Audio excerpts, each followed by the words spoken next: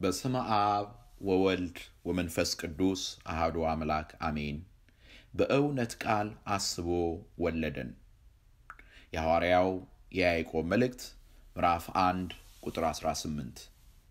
የተወደዳችሁ አባቶች፣ እናቶች፣ ወንድሞች፣ እህቶች እግዚአብሔር አምላካችን እየረዳን እየደገፈን እስከዚህች ዕለት እስከዚህች ሰዓት ስላደረሰን ስሙ ከዘላለም እስከ ዘላለም ይክበር ይመስገን። በዛሬው ዕለት እንዳስለመድነው የጀመርነውንና ክርስትና በመከራ ውስጥ በሚል ርዕስ እያጠና ነው ያለነውን የያዕቆብ መልእክትን ዛሬም እንመለከታለን። በዛሬው ዕለት የምናየው የያዕቆብ መልእክት ምዕራፍ 1 ቁጥር 18 ላይ የሚገኘውን ንባብ ነው። ቃሉ እንዲህ ይላል፣ ለፍጥረቱ የበኩራት አይነት እንድንሆን በእውነት ቃል አስቦ ወለደን። ሐዋርያው በዚሁ ምዕራፍ በቁጥር 16 እና 17 ላይ የበጎ ስጦታ ሁሉ የፍጹምን በረከት ሁሉ መገኛ የብርሃናት አባት የሆነው ልዑል እግዚአብሔር እንደሆነ ነግሮን ነበር። አሁን ደግሞ የዚህ ሳይገባን ለእኛ ከእግዚአብሔር የተደረገልን ስጦታ በጎነቱን በረከቱን ለምን እንዳደረገልን እግዚአብሔር ይህንን ስጦታ ለምን እንደሰጠን ዓላማው ምን እንደሆነ ይነግረናል። እንዲህ ይለናል፣ ለፍጥረቱ የበኩራት አይነት እንድንሆን በእውነት ቃል አስቦ ወለደን። ሰፊ የሆነ ነገር ነው እዚህ ላይ የምናየው። ነገር ግን አሁን ካለን ጊዜ አንጻር አራት ዋና ዋና ነገሮችን እናያለን። የመጀመሪያው አንደኛው ያገኘነውን ልጅነት እንመለከታለን። ወለደን የሚል ቃል እናገኛለን። ምን ማለት እንደሆነ እንመለከታለን። በሁለተኛ ደረጃ እንዴት እንደወለደን፣ በሦስተኛ ደረጃ በምን መንገድ እንደወለደን እና በአራተኛ ደረጃ ደግሞ ይህንን ልደት ወይንም ደግሞ ይህንን ልጅነት ለምን እንደሰጠን እናያለን። የሚያስተምር የሚመክር እውነቱን ለልጆቹ የሚገልጥ ልዑል እግዚአብሔር አምላካችን ለእኔና ለእናንተም ደግሞ እንዲገልጥልን ቅዱስ ፈቃዱ ይሆንልን። የመጀመሪያ የምናየው ከእግዚአብሔር ስላገኘነው ልጅነት ነው። በጥንቃቄ ተመልከቱት። የሚለን ለፍጥረቱ የበኩራት አይነት እንድንሆን በእውነት ቃል አስቦ ወለደን ይላል። ወለደን የሚለውን ኃይለ ቃል የሚሰመርበት ነው። የብርሃናት አባት የሆነው ልዑል እግዚአብሔር የእርሱ ልጆች እንድንሆን አድርጎናል። በጸጋው ወልዶናል። ስለዚህ አስደናቂው የእግዚአብሔርን ልጅነት ሐዲስ ኪዳን በሰፊው ይናገራል። በተለይ ደግሞ ወንጌላዊ ዮሐንስ በመልእክቱም እንደዚሁም በወንጌሉም ደግሞ ይህንን ልጅነት አብራርቶ ገልጦታል።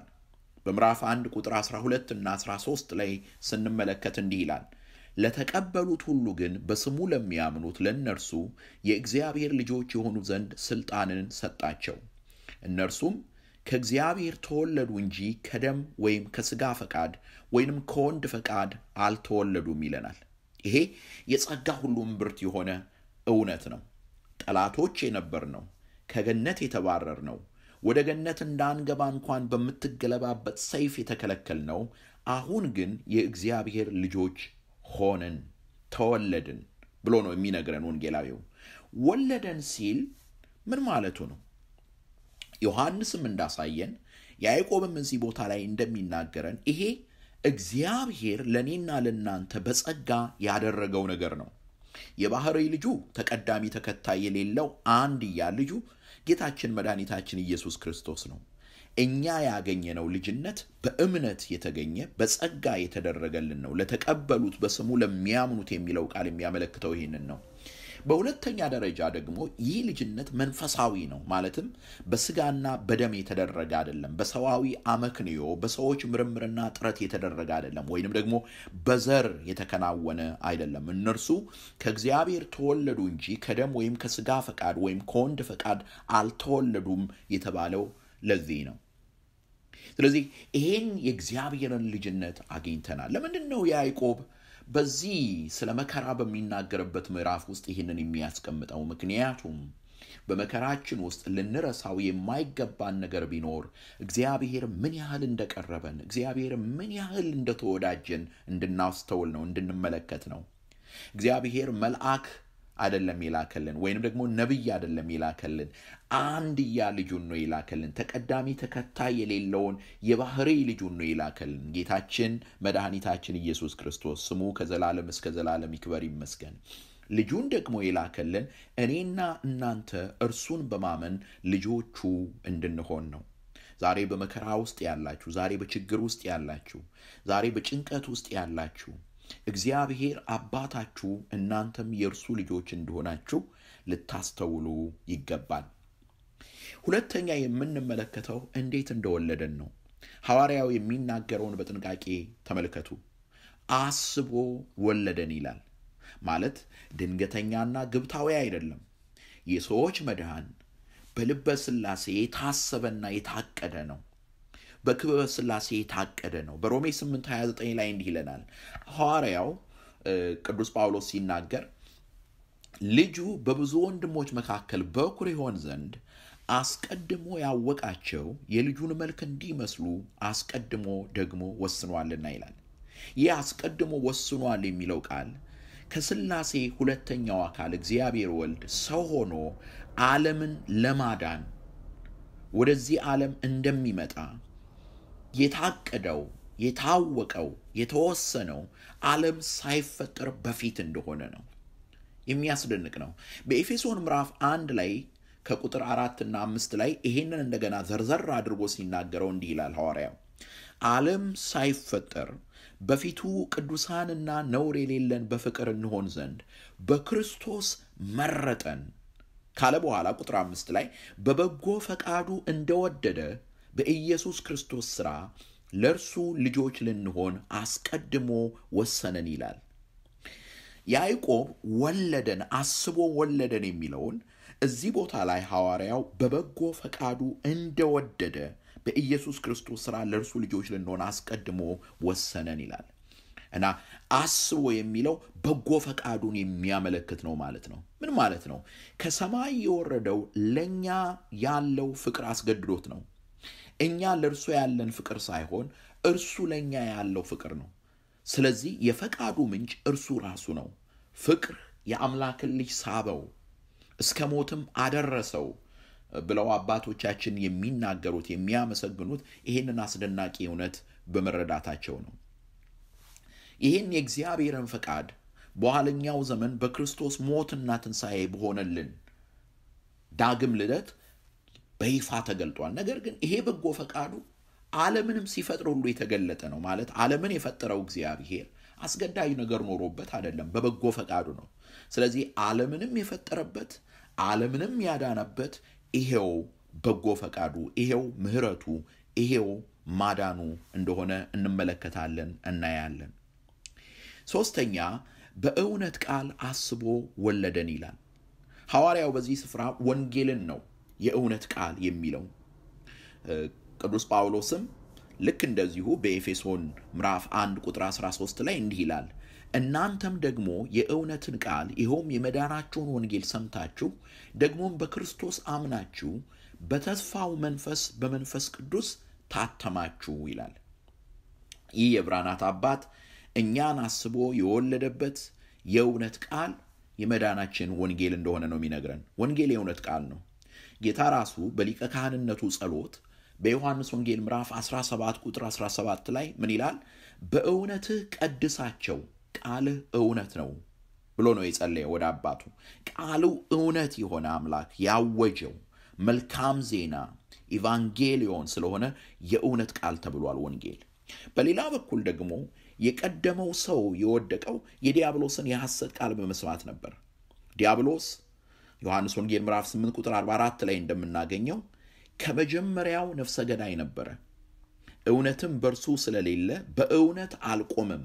ሐሰትን ሲናገር ከራሱ ይናገራል፣ ሐሰተኛ የሐሰትም አባት ነው ተብሏል።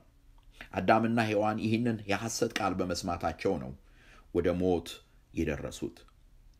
በአንጻሩ የብርሃናት አባት የሆነው ልዑል እግዚአብሔር በልጁ በጌታችን በመድኃኒታችን በኢየሱስ ክርስቶስ የተናገረንን ቃል ሐሰት ያይደለ እውነት የሆነውን ቃል እኛ በማመናችን ልጅነትን አገኘን። በመሆኑም ሐዋርያው ያዕቆብ ይለናል? በእውነት ቃል አስቦ ወለደን። ማለትም የእውነት ቃልን ለእኛ ልኮልን እኛም ደግሞ በእርሱ በማመን አምላካችን እንደወለደን እናያለን።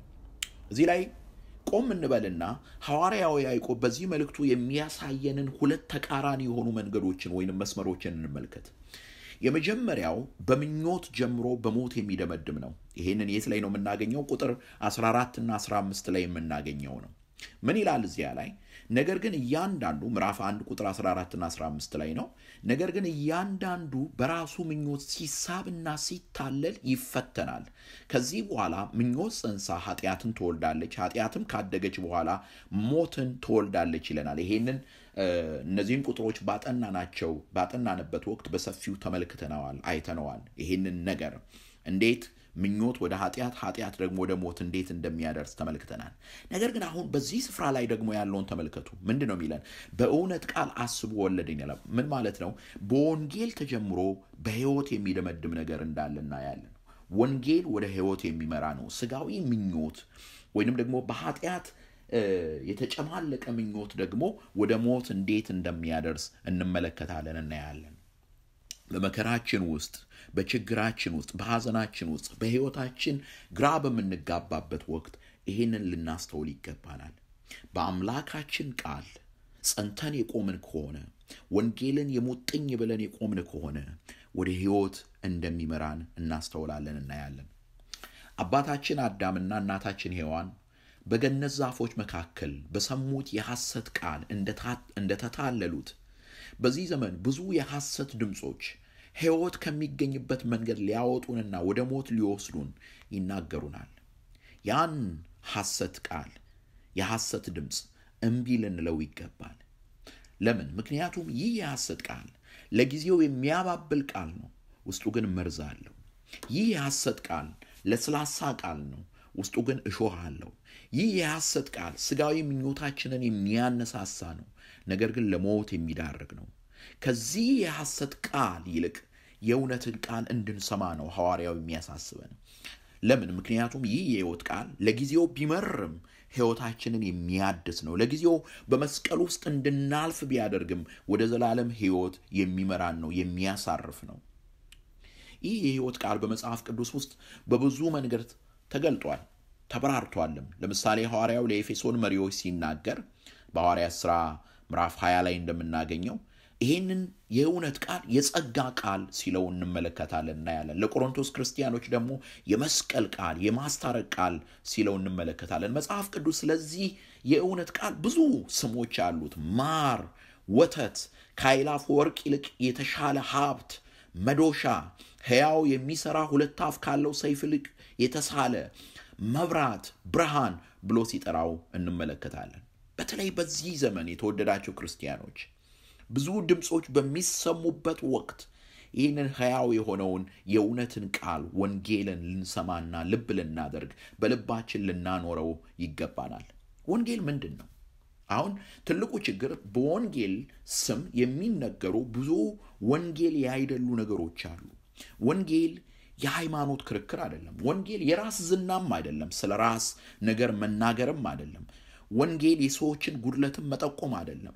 ሌላው ቀርቶ እንኳን ወንጌል ምክርም አይደለም። የኑሮ ዘይቤን ማስተካከያም አይደለም። ማለት ምክር የለበትም አይደለም ያልኩት። ሕይወትን የሚለውጥ አይደለም አይደለም ያልኩት። ወንጌል ግን ከዚያ በላይ ነው። ወንጌል አዋጅ ነው። ወንጌል ዜና ነው። ወንጌል ኢየሱስ ክርስቶስ ነው። ኢቫንጌሊዮን መልካም ዜና የተባለው ወንጌል ነው። ወንጌል የኢየሱስ ክርስቶስ በስጋ መገለጥ መገለጥ የአምላክን ልጅ የአማኑኤልን ከእኛ ጋር የመሆን ነገር የሚናገር ነው። ይህንን አዋጅ ይህንን የእግዚአብሔርን ልጅ መገለጥ በልባችን ካላኖር ነው ይህንን ድንቅ የእግዚአብሔርን ፍቅር ካልተረዳን የትኛውም መንፈሳዊ ልምምድ ሊያረካን አይችልም።